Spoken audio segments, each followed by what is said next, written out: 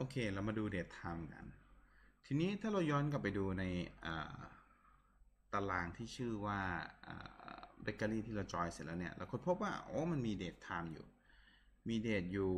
1 คอลัมน์ หรือ 1 field ได้ แล้วก็มี time แยกออกมา ทีนี้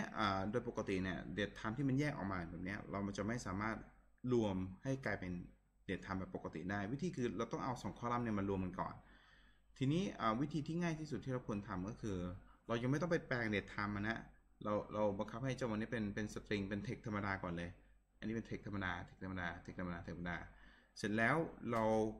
เอาสองอันนี้มารวมร่างกันมา concatenate กัน concat concatenate ก็คือเอาซ้ายมาต่อขวาแล้วทิ string มาต่อดื้อๆเลยฮะเอาเจ้าอ่าปีเดือนวันมาต่อกับ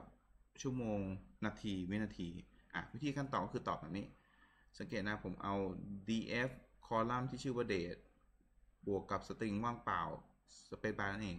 แล้วก็ df time มันก็จะพ่นเอาสตริงมาให้เราเป็น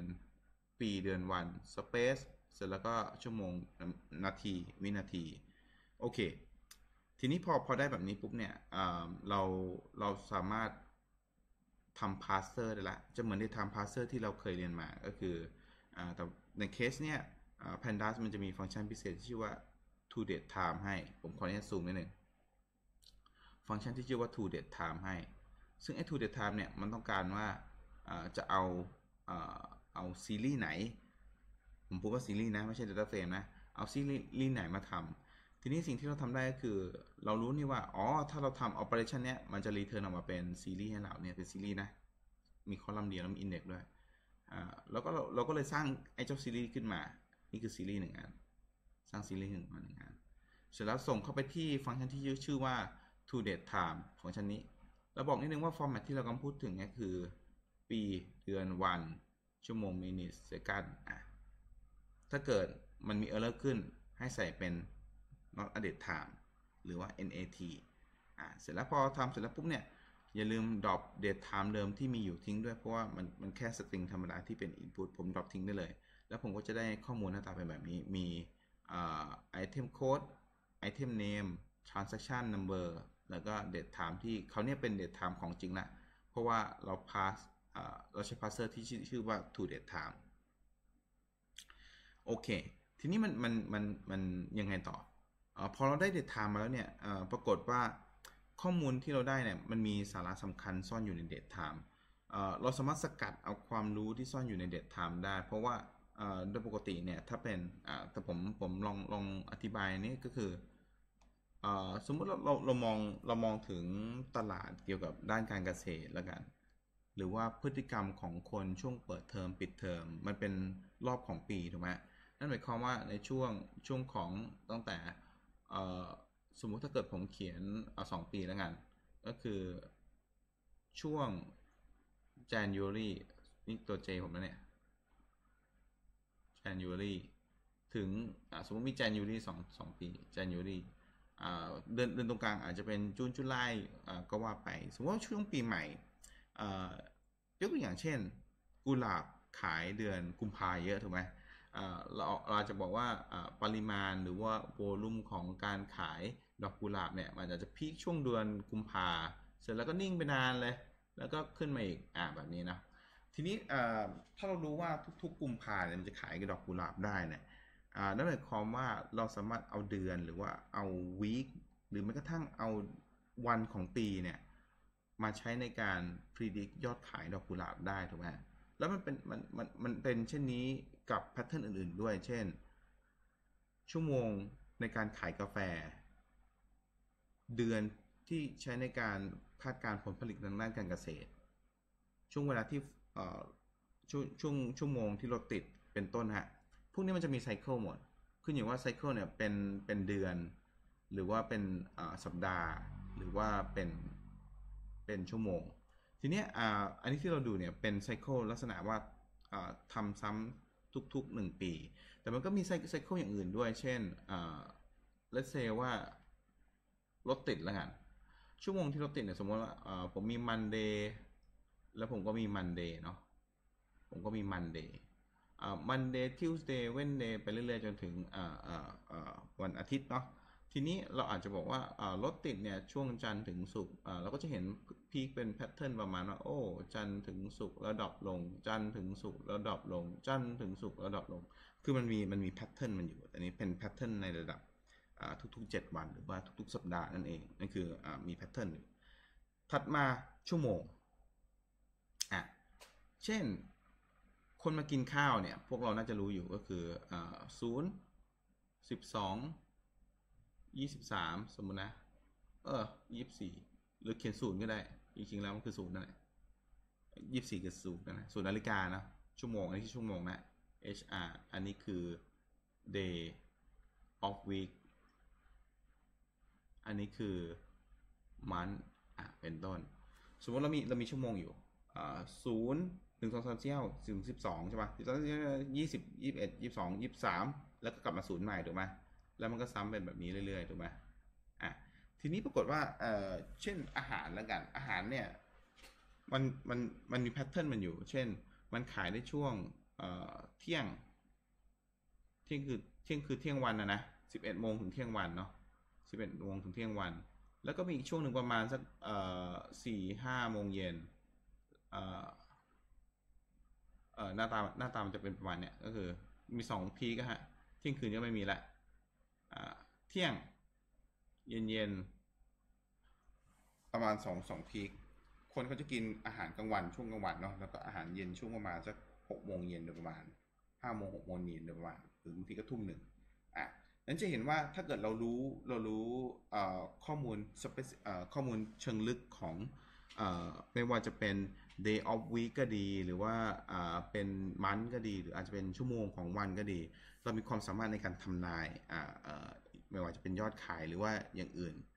ได้ฮะนั้นก็เลยมันก็เลยเป็นที่มาว่าโอ้ถ้าเกิดเราสามารถถอดเอาอข้อมูลที่เป็นไม่ว่าจะเป็น day of week เป็นวันจันทร์อังคารพุธศุกร์ ซึ่งในใน pandas นะ monday ก็คือ 0 sunday ก็คือเลข 6 นั่นเอง มีทั้งหมด 7 วัน แล้วก็มันมันเริ่มต้นจาก january คือเลข 1 แล้วก็ december เป็นเลข 12อะแล้วก็ hour อ่าชั่วโมงเนี่ย hour เนี่ย ก็คือเริ่มจาก 0 0จนถึง 23นาฬิกา59 นาทีอะเออเออโทษที อันนี้เป็นชั่วโมงเนาะก็คือมีตั้งแต่ 0 ถึง 23 ไม่มีนาทีนะ ทีนี้ในการ extract หรือว่าในการสกัดข้อมูลออกมาเนี่ย เราใช้คำสั่งที่ชื่อว่า สมมติเรามี data frame อยู่ เราเข้าไปถึงซีรีส์ที่เป็น date time นะ เราใช้ .dt สังเกตนะ .dt แล้วก็ตามด้วยสิ่งที่เราต้องการออกมาได้เลย เช่น df.datetime.dt แล้วก็ date of week มันก็จะได้เป็นตัวเลขของศูนย์ถึงหกคือจันทร์อังคารพุธศุกร์เลย เสาร์อาทิตย์ด้วยอะทีนี้พอเราทำแบบนี้เนี่ย สังเกตนะ ผมก็ไปดึง ไปสกัดข้อมูลที่เป็น day of week มา เสร็จแล้วผมก็เขียนกลับเข้าไปใน data frame เดิม แต่ว่าเราตั้งชื่อคอลัมน์ใหม่ เป็นเป็นฟิลใหม่ที่เราตั้งขึ้น เราเรียกว่า day of week เสร็จแล้วก็ทำแบบเดียวกันกับมันด้วยทำเดียวกันกับคอลัมน์ที่ชื่อ hour ด้วย มันถูกสร้างคอลัมน์นี้ถูกคอลัมน์ hour มันแล้วก็ day of week เนี่ยถูกสร้างขึ้นมาใหม่ ทีละคอลัมน์นะ สร้างคอลัมน์แรกก่อน ค่าไปใส่ สร้างคอลัมน์ที่ 2 เอาค่าไปใส่ สร้างคอลัมน์ที่ 3 เอาค่าไปใส่อะมันก็จะมีคอลัมน์เพิ่มขึ้น ปรากฏว่าทันทีที่เราทำแบบนี้ปุ๊บเนี่ยให้นักเรียนทดลอง plot histogram ดู แล้วนักเรียนจะเจอ pattern อะไรบางอย่าง เช่น ในภาพนี้นะ อันนี้เป็นจำนวนเขานะ histogram คือจำนวนเขาเเราจะเห็นว่า item code เนี่ยอลองตีความไปเรื่อยๆก่อนนะ item code มันมีหลายหลาย item ตั้งแต่0ถึงประมาณ 90เราค้นพบว่า item ที่ขายบ่อยๆเนี่ยอยู่ในช่วงประมาณ 20 แล้วก็ตั้งแต่ 50 ถึง 100 เนี่ยก็ขายได้บางส่วน แต่มันมีหุบเหวตรงนี้อยู่ item code นี่ไม่มีอะไรก็คือเป็นเป็น ID ที่ running ไปเรื่อยๆ ว่า item แต่ละ item เรียกว่าอะไรนะครับถัดมาอีกอันหนึงคือ transaction อ่า transaction เป็น running number นั่นไม่ไม่แปลกใจที่มันจะกระจายตัวเป็นแบบ uniform อ่า distribution หรือการกระจายตัวแบบ คงที่แบบนี้ ก็คือทุกทุก transaction มันไล่ต่อเนื่องกันไป แล้วก็มันก็กระจายตัวแบบต่อเนื่อง ถัดมา day of week เราค้นพบว่าอันนี้คือวันจันทร์ อังคาร พุธพฤหัสศุกร์เสาร์อาทิตย์ เราค้นพบว่ายอดขายวันวันวันวันเสาร์เนี่ยค่อนข้างสูงโดดเด่นเลย วันเสาร์ค่อนข้างขายดี อันนี้ที่หนึ่งนะที่เราค้นพบจากการแค่สกัดเอา day of week ออกมาจาก date time นะฮะ แล้วก็อันที่สองก็คือเราก็พบว่าชุดข้อมูลเนี้ยมันไม่ได้มีครบ มันมีตั้งแต่เดือน 10 11 12 เดือน 1 เดือน 2 เดือน 3 เดือน 4 เดือนระหว่างระหว่างทางนี้มันหายไป มันไม่ใช่คนไม่ซื้อนะ แต่มันไม่มีเรคคอร์ดก็คือเขาเก็บข้อมูลแค่ช่วงสั้นๆ ไม่ครบปีด้วยซ้ำไป ถัดมาอันสุดท้ายน่าสนใจสุดก็คืออชั่วโมง เราค้นพบว่าคนเนี่ยซื้อเข้าไปกิจกรรมในร้านเบเกอรี่แห่งเนี้ย ออยู่ในช่วงตั้งแต่ประมาณหลังตีห้านะจนถึงประมาณประมาณสักหกโมงเย็นถึงทุ่มหนึ่งโดยประมาณนะตั้งแต่หกโมงเช้าจนถึงทุ่มหนึ่งที่ร้านมีการแอคทีฟแล้วก็ active สุดๆเนี่ยในช่วงประมาณสักจริงๆนะผมเชื่อว่าน่าจะมาอยู่ที่ประมาณอ่า13นาฬิกาประมาณฮะประมาณ13นาฬิกาอะนี่แค่ออย่าลืมนะผมทำแค่เอา datetime มา แล้วก็ สกัดเอา day of week month แล้วก็เอาออกมา เราเห็น pattern อะไรบางอย่าง นั่นคือนั่นคือสิ่งที่เราทำได้ในการวิเคราะห์ข้อมูลฮะโอเค ทีนี้ถัดมาคือ สมมติเราเราอยากพิจิตไปต่อ เอะอะไรมันเป็นปัจจัยที่ทำให้ยอดขายร้านเราดี Day of Week เกี่ยวข้องไหมกับการการซื้อสินค้าปริมาณการซื้อสินค้า เราก็ต้องไปทำต่อ ทีนี้อ่าอย่างที่ผมสอนในคราวที่แล้วก็คือวิธีง่ายสุดก็คือทำ correlation matrix อ่าแล้ว copy code ของอันเดิมมาเลย เปลี่ยนจากนิดเดียวครับเปลี่ยนแค่ data frame เดิมก็เป็น data frame ใหม่ เจ้า correlation matrix มันก็โชว์ให้เราเห็น โป๊ะออกมาว่า โอ้ดูสิ สมมติผมจะดูเขาผมดูแค่เขาตรงนี้นะเอ๊ะเขาเนี่ยมันขึ้นอยู่กับอะไรบ้างอ่ามันขึ้นอยู่กับ day of week เป็นสีน้ำเงินอ่อนๆ หมายความว่ามันมันไม่ค่อยขึ้นอยู่กับมาก แต่ว่าแนวโน้มก็คือขึ้นอยู่ว่าช่วงเสาร์อาทิตย์หรือเมื่อเทียบกับจันทร์อังคารอะเสาร์อาทิตย์ขายได้ดีกว่าพูดง่ายๆคือถ้าเลข day of week เพิ่ม ยอดขายเขาเนี่ยก็เพิ่มด้วย ถัดมามันก็เหมือนกันช่วง late late ประมาณเดือน December เนี่ยท้ายปีเนี่ยขายได้ดีกว่า ต่อมาอาวอาวตั้งแต่ศูนย์นาฬิกาถึง 24นาฬิกานะฮะปรากฏว่ายิ่งเย็นยิ่งขายไม่ดีอ่าอันนี้ อันนี้ไม่รู้จริงเปล่าแล้วก็ item codeยิ่งมากยิ่งขายไม่ดี ถ้าเราย้อนกลับไปดูก็คือ สังเกตนะไอเทมโค้ดยิ่งมากยิ่งขายไม่ดีถูกไหมแล้วก็เอ่อเอ่ออาตั้งแต่ศูนย์ถึง24นะฮะอ่าปรากฏว่าเกไอกราฟเนี่ยมันมันเบ้เบ้ไปทางเอ่อคือมันเบ้ไปทางไม่รู้เบ้ทางไหน มันก็เลยออกมาเอาออกเป็นสีสีอ่าอ่าแดงหน่อยๆ ประมาณนั้น นั่นคือนั่นคือที่เราได้จาก correlation matrix แต่ว่ามันมันยังไม่บอกอะไร มันไม่ไม่บอก prediction ยังไม่มีโมเดลอะไรซับซ้อนมากเลยดังนั้นเราก็เลยต้องต้องไปทำต่อในในใน step ถัดไป แต่ก่อนจะไป step ถัดไปเดี๋ยวผมอขออนุญาต demo